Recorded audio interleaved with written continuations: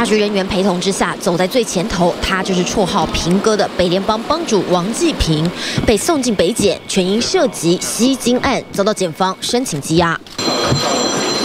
而后头的则是前台东市长陈建革，也是涉嫌吸金的公司负责人，讯后五十万元交保，减掉大动作，联合北市刑大带回七名被告，两名证人，走在最后头，帽子反戴，他就是本土剧演员陈润，晚间以三十万元交保。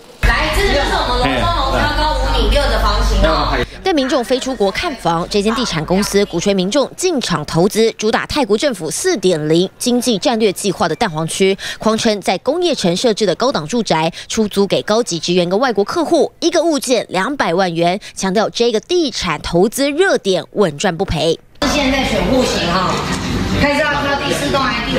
但天底下哪有这么好的事？泰国建地确实存在，但建案新建没多久就停工。讲师们宣称，只要投资，保证前两年获利一成，大约两百人投资，但近期却停止分红，出估吸金达到四亿元。检方经漏夜侦讯，前北联帮主王继平声押，前台东市长陈建革以五十万元交保，其余被告以十万到三十万不等金额交保。等下。